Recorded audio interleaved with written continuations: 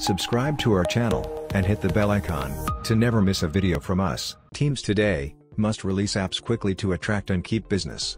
This requirement, forces software development and support teams, to always look at solutions that save time and reduces costs.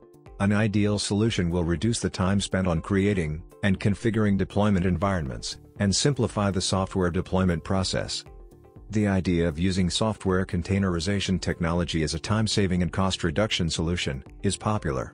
One of the strengths of containerization is that you don't have to configure hardware, and spend time installing operating systems and software to host a deployment. Containers are isolated from each other, and multiple containers can run on the same hardware. This configuration helps us use hardware more efficiently, and can help improve our application's security.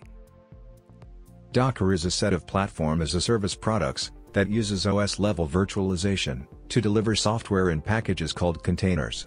Containers are isolated from one another, and bundle their own software, libraries, and configuration files, they can communicate with each other through well-defined channels. The process of developing and managing applications in a company, typically includes one or more teams. There's a development team that creates the software, and an operations team, responsible for the deployment of these applications. The operations team is also responsible for the management of the application hosting infrastructure. Docker is a containerization platform used to develop, ship, and run containers. Docker doesn't use a hypervisor, and you can run Docker on your desktop or laptop if you're developing and testing applications.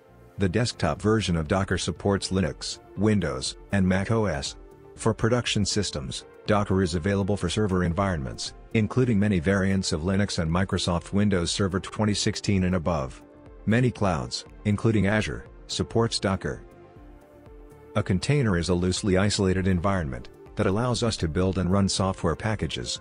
These software packages include the code and all dependencies to run applications quickly and reliably on any computing environment.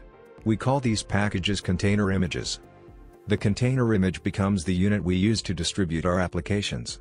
Software containerization is an OS virtualization method that is used to deploy and run containers without using a virtual machine. Containers can run on physical hardware, in the cloud, VMs, and across multiple OSs. Let's take a look at Docker architecture. The Docker client. The Docker client is a command line application that provides us with a command line interface to interact with the Docker server. The Docker command uses the Docker REST API to send instructions, to either a local, or remote server and functions, as the primary interface we use to manage our containers. The Docker server. The Docker server is a daemon. The daemon responds to requests from the client via the Docker REST API and can interact with other daemons. The Docker server is also responsible for tracking the lifecycle of our containers. Docker objects. There are several objects that you'll create and configure to support your container deployments. These include networks, storage volumes, plugins, and other service objects.